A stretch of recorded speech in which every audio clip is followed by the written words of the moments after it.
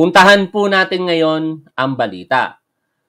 Ang balita, siyempre, pagpapakita ito ng suporta ng ating gobyerno, partikular sa ating kasundaluhan. Sa pamumuno po ng ating Chief of Staff na si General Romeo Browner, na bagong talaga lamang din po sa posisyon na yan ng ating mahal na Pangulong Bongbong Marcos, binisita niya po ang ating kasundaluhan diyan sa area. At siya po ay uh, nangako na talagang bibigyan ng suporta at syempre, ire-resupply muli ang ating mga station soldier diyan po sa Ayungin Shoal. Panoorin po natin ang balita po na ito. Yan. Kinumusta ni Armed Forces of the Philippines Chief of Staff General Romeo Browner ang mga sundalong nagbabantay sa West Philippine Sea. Nagkaroon ng situational briefing na pinangunahan ni Westcom Chief Vice Admiral Alberto Carlos kaugnay ng mga pinakabagong pangyayari sa West Philippine Sea. Ito, napakahalaga ng action na ito ni Chief of Staff Browner. Ano? Kasi bakit? As leader, dapat you have to show hindi lamang logistical support, resources, more so, yung ibuboost mo yung moral ng iyong mga tauhan. And by showing there, may papakita mo sa iyong mga tauhan na nasa likod nila ang iyong pamumuno. Ano? Kasi hindi pa pwede rito yung mahinang nila lang. Ano? Hindi pa pwede rito yung nagtatanong yung China at mananat, mananatiling tahimik ka lamang. Sabi ng China, eh, kiniklaim nila na ngako daw po ang Pilipinas na aalisin ang BRP Sierra Madre diyan sa Ayungin Shoal. Nung makarating po ito sa kaalaman ng ating Pangulong Bongbong Marcos, aba, hindi man nagpakita ng galit si Pangulo pero makikita po natin yung pagkairita sa ating Pangulong Bongbong Marcos. There is no such agreement. I do not know anyone. I, I, I, I do not know anything. Ano? And if there is agreement, I will rescind it. Uh, hindi man ganon yung word na ginamit ng ating Pangulo, pero yun po yung gusto niyang iparating sa ating publiko. At napakahalaga po nun. Dahil kailangan maramdaman po ng ating kasundaluhan at ng kapwa Pilipino na ang Pangulo meron pong specific na position in this particular incident. Eh, ang balita ko, katulad nung nabasa ko sa post ni Sir Benji Contreras eh, yung pinupuon din itong mga DD shit. Ano, kasi sabi nila eh, pinupuon natin si Pangulong Bongbong Marcos. Ako, tanggapin ko yun. Kung kailangan puunin ko si Pangulong Bongbong Marcos para naman sa ikabubuti ng bansa at ng bawat Pilipino, gagawin ko. Ay, yung pinupuon nila na si dating Pangulong Rodrigo Duterte, e tahimik lamang. Puntahan nga natin ulit yung post ni Sir Benji Contreras tungkol po dyan. O baka kasi sabihin ninyo, nagpe-fake news ako eh. O, puntahan po natin yon kung ano ang naging tugon ng Duterte administration tungkol po sa bagay na yan. Sabi ng Duterte administration, silent sila. Tahimik. Duterte administration silent on Manila promise to remove ship on Ayungin.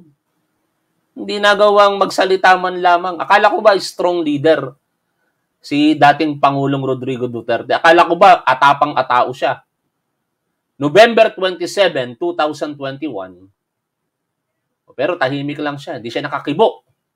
Hindi niya napanindigan na hindi pa pwede ang gusto ninyo, China. Uh, walang ganon. Pero si Pangulong Bongbong Marcos, ano ang sinabi ni Pangulong Bongbong Marcos tungkol sa pagkakataon na yan? O, i-play po natin ha. Pakinggan po ninyo para sa kanya na mismong mga labi magmula ang pinag-uusapan po natin.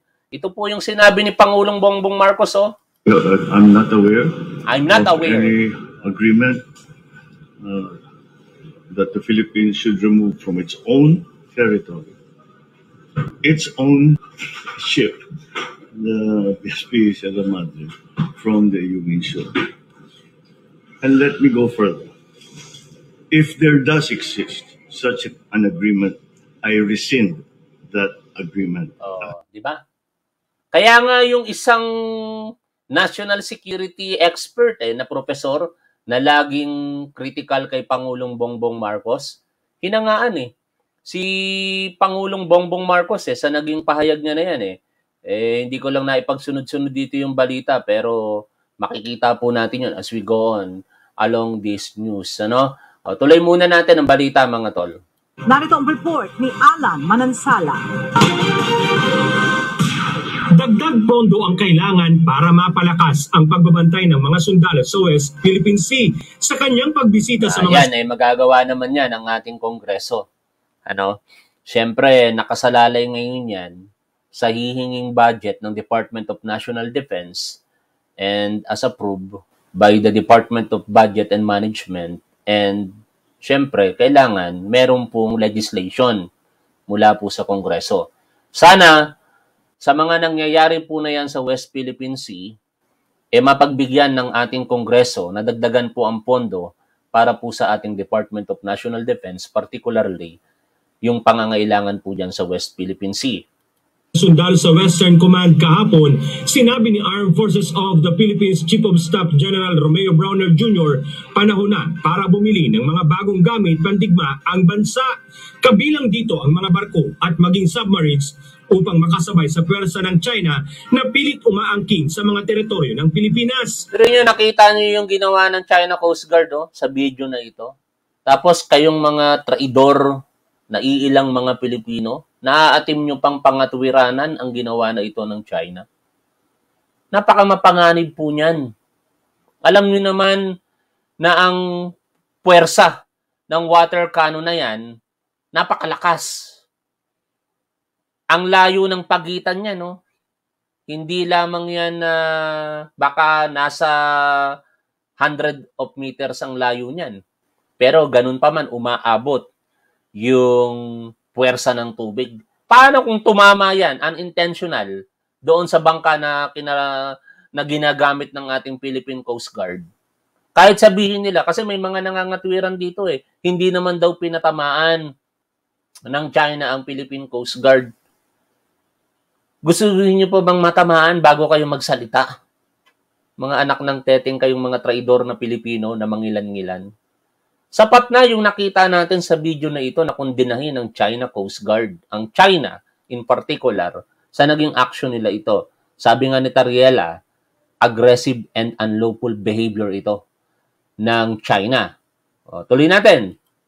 So kailangan talaga natin na palakasin pa yung ating mga yung presence, no, yung presence natin sa West Philippine Sea and this would entail more funds. Kaya uh, talagang uh, humihingi rin kami sa sa kongreso natin. Sana pakinggan po ng kongreso. Anyway, may budget deliberation po ngayon diyan po sa kongreso. Eh baka naman Office of the Vice President, yung 500 million Intel funds po ninyo, bawasan po natin ng kaunti. Ibigay po ninyo kahit mga 100 million dito po sa ating Armed Forces of the Philippines. Baka naman, Vice President Sara Duterte, eh, ang laki po nung Intel funds ng Office of the Vice President. 100, 500 million pesos, mga tol. Eh, 100 million, bawas-bawas ng konti. O baka gusto nyo pandagdagan, ibigay nyo na lamang po sa Department of National Defense. Total, dinideliberate pa lang naman yung budget sa Kongreso eh. Pwede pang i-restructure ang budget na yan hanggat merong panahon pa. O, tuloy natin. Na madagdagan pa yung pondo natin dito sa West Philippine Sea. Ito ang kauna-unahang pagbisita ni General Browner sa Western Command Headquarters sa Palawan bilang Chief of Staff ng AFP. Ang Western Command ang pangunahing responsable sa pagbabantay sa bahagi ng West Philippine Sea na nakakasakop sa Kalayaan Islands kabilang ang Ayungin Shoal. Samantala, Ayon naman kay AFP spokesperson Colonel Medel Aguilar, itutuloy nila ang resupply mission sa BRP Sierra Madre ito, at nararapat yan. Kasi pagka tayo'y nagpasindak dito sa aksyon ng China, eh patuloy lamang po yung uulit-ulitin nitong China. Ang problema kasi sa mga nakalipas na panahon, masyadong naging mabait eh ang Pilipinas. Eh baka dala na rin sa utos ng kaibigan ng China na si dating Pangulong Rodrigo Duterte na wag pumalag sa China. Kasi pagka nagpatuloy yan mga tol, kakawat-kawain tayo ng China, sigurado po yan. Kaya dapat, yung naantala na resupply mission, magpatuloy. Tapos, ipakita natin na todo pwersa tayo. Hindi naman natin gigirahin ng China. Wala tayong kapasidad para gawin yan. Pero gasino na lamang na paghandaan po ng ating gobyerno yan, pondohan. Mag-resupply mission dyan ng hindi lamang isang vapor ang dala ng Philippine Coast Guard, kung hindi may escort din na Philippine Navy. E tingin ko naman, hindi na gagawa pa ng anumang aggressive behavior, lalong-lalo na magko-constitute sa armed attack ang China Coast Guard. Kasi eh, kapag ka ginawa po nila yon nakalulungkot man, papasok sa eksena ang ating mga kalyadong bansa, partikular ng Estados Unidos. Armed attack may initiate the opera opera opera opera opera naka, nabubulol ako. Operationalization list. Nawawala ako doon sa ano ano? Sa sa eksaktong word ano? Mag-ooperate yun na lamang. Mag-ooperate yung mutual defense treaty po natin kasi ang sinasabi doon any armed attack either sa Estados Unidos at saka sa Pilipinas eh, is an act of war at obligated ang bawat bansa na suportahan ang sinumang inataking bansa. Kaya sana wag gawin iyon ng China. Ano, tuloy tayo mga tol. Ang masusunod na rotation and reprovisioning mission, ito ay uh, ating paplanuhin para may sagawa ito ng maayos at saka matagumpay. Of course, paramount in our consideration is the safety of our uh, people na magsasagawa ng RORE mission. Alan Manansala, UNTV Okay. News and Rescue. talon tayo ha sa susunod na balita. Tuloy tayo, magkakasunod po kasi ito eh. Talon tayo dito. Yan.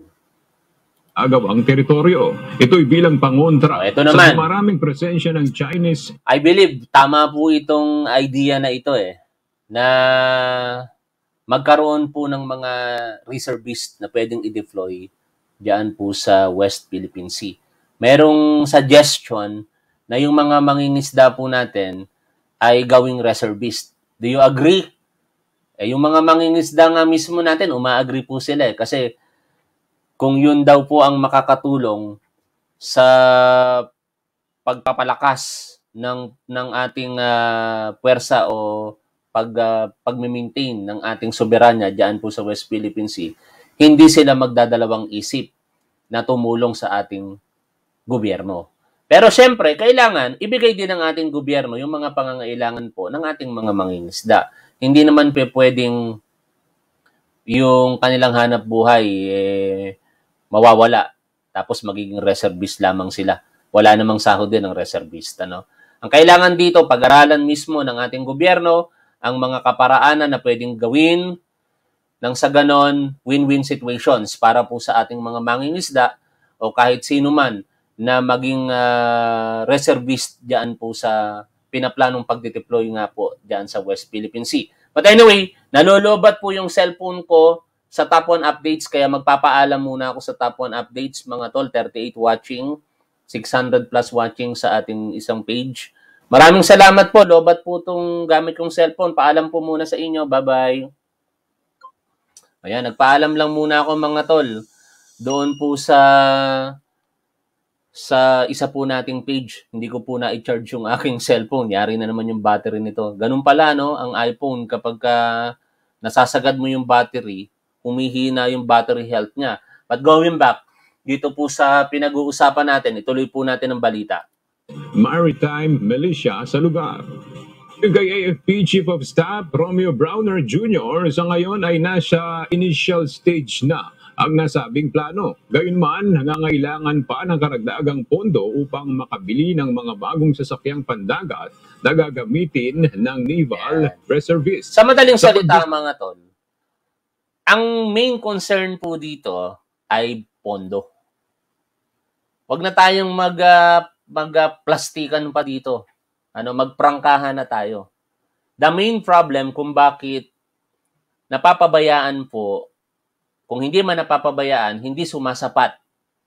I believe that is the appropriate term. Hindi sumasapat ang ang ah, ginagawa po ng ating kasundaluhan dyan sa West Philippine Sea kasi kulang po talaga ang budget. Napakaliit din po kasi ng budget ng Department of National Defense. Sa ating constitution po kasi mga tol, ang pinakamalaking budget ay ang Department of Education. Hindi naman natin masisisi po yan kasi eh, kasabihan nga, ang kabataan ang pag-asa ng bayan, kaya we have to invest sa ating sa ating mga kabataan sa pamamagitan ng libreng pag-aaral, pagpapalakas ng pampublikong pamparalan, paaralan, eh, malaki talaga budget para po sa kanila. Ganun pa man, dapat maikonsidera din po ng ating Department of Budget and Management, saka ng ating Kongreso, na tayo po ay merong pangangailangan na protektuhan at siguraduhin ang ating security against hindi lamang dito po sa ating domestic threats, kung hindi sa foreign threats, ano? Katulad po ng ginagawa po ng China. Kaya sana i-restructure. Ako hindi ako against sa confidential fund.